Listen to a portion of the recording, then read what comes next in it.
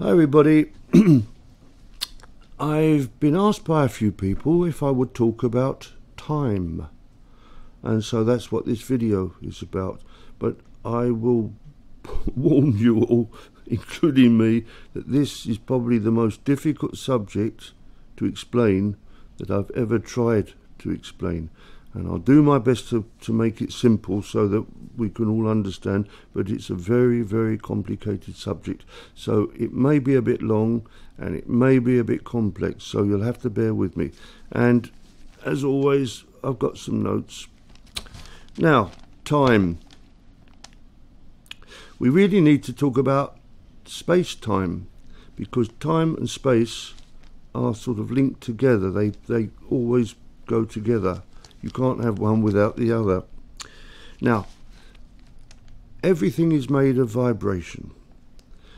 I am, I appear solid, but I'm actually just vibration. You are vibration.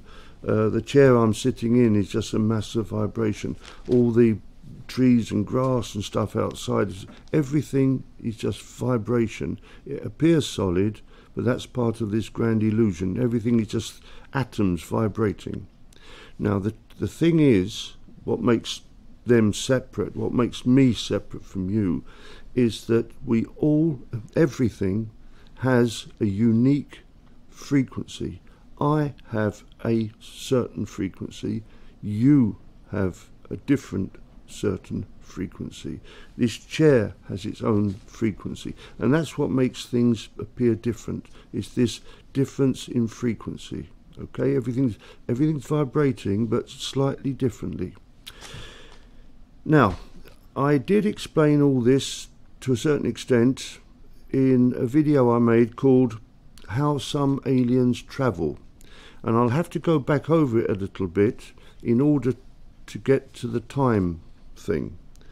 Now, you'll have to bear with me because it's, it's so complicated that I've got to keep looking at, at the notes because I, I, I barely understand it myself. Now, for me to exist, I'm going to talk about me, but the same would apply to you, obviously.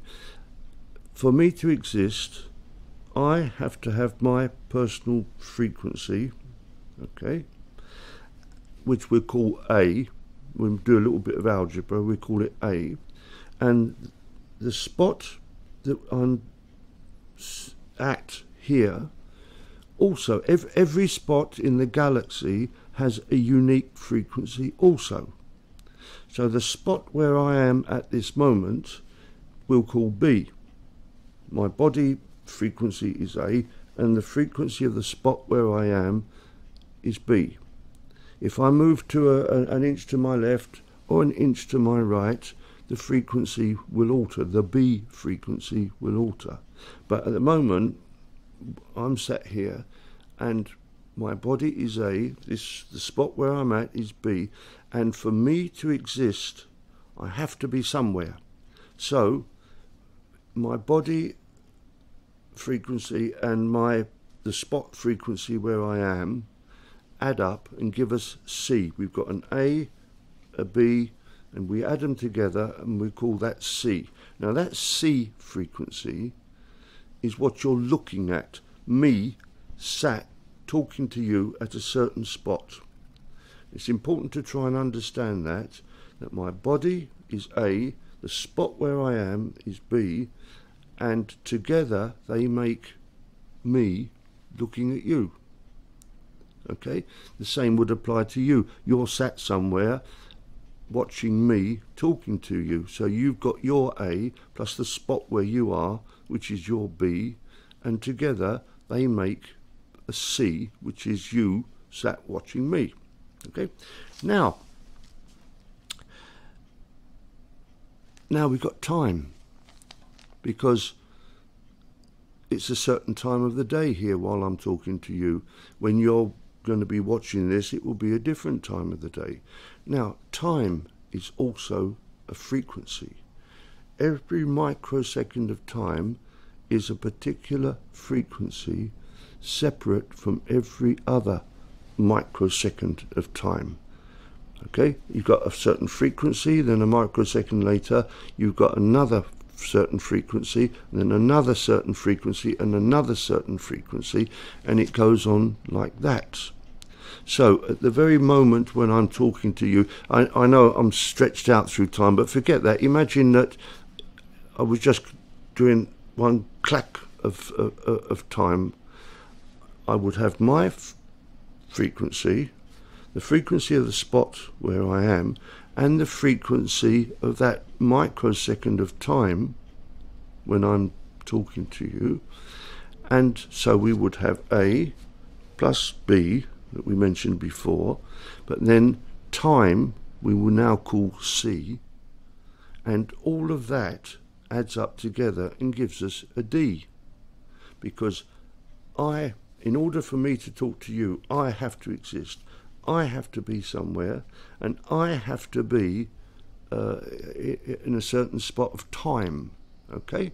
So we've got this frequency plus frequency plus frequency, and the whole lot together form um, uh, what we call a, what I was calling a D frequency, which is me talking to you at this particular moment. Now, already that's very difficult to understand, and I hope you can understand it. I've sort of laboured the point a bit to try and help you understand it, but it is, if it's new to you, it's very, very complicated that you've got all these different frequencies going on and you can't exist and a blade of grass can't exist and the chair that I'm sat in can't exist and this book can't exist without having all those frequencies. Now, Bashar, you may have heard of a, an alien gentleman called Bashar and he's a very, very intelligent person and he he knows most things. he's an amazing person and he describes time as a series of frames like on a, a film. Okay, now the galaxy, this is another one that's going to be difficult to understand.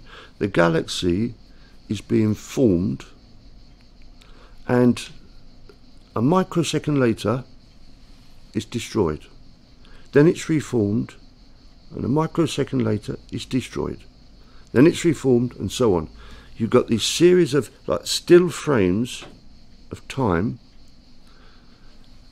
and the whole galaxy is destroyed in between any two frames. Now, the reason why that happens is in itself a very interesting subject, and I understand a bit more about that, and I'll explain that in another video another day. But accept, if you will, that you've got these series of still frames, and in between you've got a blank, just a very tiny blank for a micro, micro, microsecond. Picture nothing, picture nothing, picture nothing, picture nothing.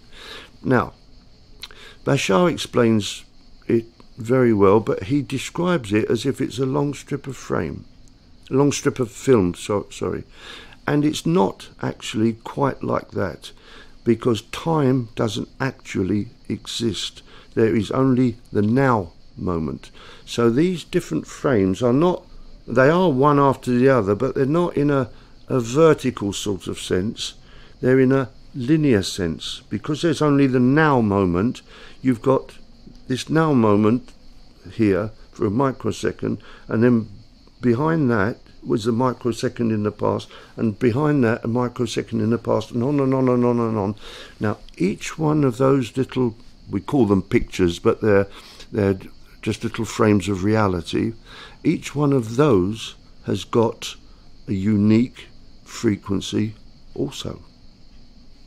They're little tiny cutouts of time of, of, of reality that are linked to time and each one of those is encoded with a particular frequency to keep them separate one from the other. Each frame has a different frequency to it. Now, if I want to travel back through time, imagine that I wanted to go back and watch Hannibal crossing the Alps with excuse me with his elephants. what I would need is first of all my quiescent frequency, the frequency of the spot where I am, the frequency of the time where I am now, and add those three up and it would give me an A plus a B plus a C. It would give me, oh, sorry, hit the microphone. It would give me a D frequency. And if I wanted to go back and watch Hannibal doing his thing, I would, if I wanted to physically travel there, I would keep my quiescent frequency. That wouldn't alter. But the spot on the planet where Hannibal would be, I'd need to know. I need to know the frequency of that spot where Hannibal is with his elephants crossing the Alps, which would be the B. My body would still be the A. The spot where Hannibal is, we would call a B. And the time when Hannibal was doing that, if we would need more or less the exact moment in time when he was doing his thing. I know it was spread out over time, but we would need a certain point of time in order to be there. Now, once again, we would need to add my particular frequency to the excuse me to the frequency of where Hannibal is, his spot in space, and the frequency of the time that he's doing his thing. So he had an A plus a B plus a C, which would give us a D. And that D would correspond to this point in time and space where Hannibal is crossing the Alps sometime in the past. do, pardon me.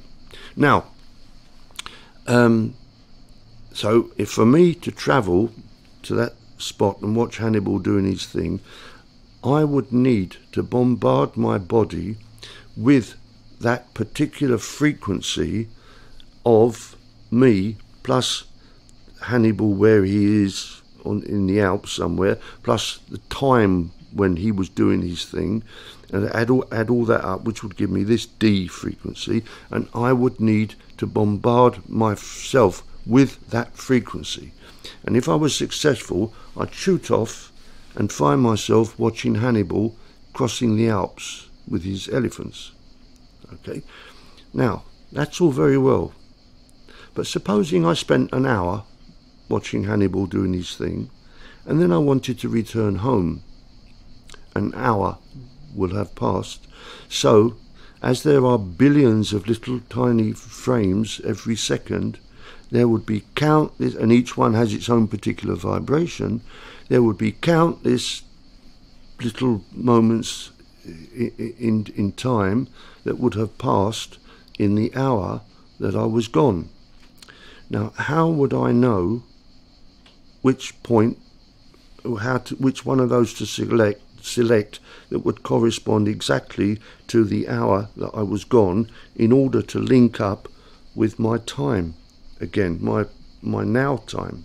Now, you could say, "Oh, don't worry about that. You knew that you knew that the frequency of the time when you left an hour previously, so go back to that." But how would that work? Would my family still sort of be here? Would I still be in the same reality?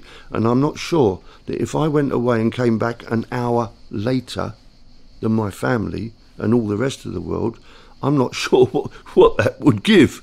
I don't know if anybody knows the answer to that, but I'm a, I'm not sure that that, uh, uh, that that would work to be an hour behind everybody else.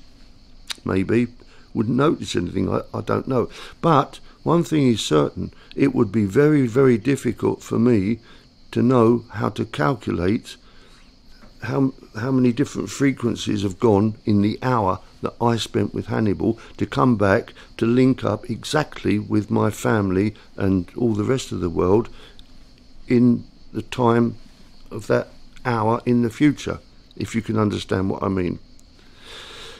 So, I'm not quite sure how getting back works. I can see how to get somewhere, but I'm not sure how to get back. And I'm going to stop there because that's all I can really tell you about time. It's a very, very complicated subject and it's linked with space because we have this space time and the whole thing is a bit of a nightmare really to explain. It's a very fascinating subject and I've I've done my best to explain it in simple terms. I don't know if you can understand it, but I've done my best. Now, one last thing before I go. People go off to the Akashic records. Now, what they what they do is they go off with their mind and into the Akashic record, where all these same events that we can actually physically visit, if we know all these vibrations, you can actually link with the same vibrations with your mind. But now you can get back from that quite easily because your body's not gone anywhere. And once you finish watching Hannibal doing his thing or whatever it might be that you want to watch, you just return with your mind and you're back in real time. There's nothing nothing untoward's happened. But to physically go somewhere, mustn't split my infinitives, to go physically to go somewhere um, is all very well, but it's the getting back bit that I find a bit hard to understand. Okay, I'll stop here. Thank you very much for listening to me, and I'll speak to you again. Maybe about this little gap in the in the time when all, all the universe is destroyed every microsecond. I'll talk to you about that maybe. Okay, if if anybody's interested to know. Thank you for listening to me, bye.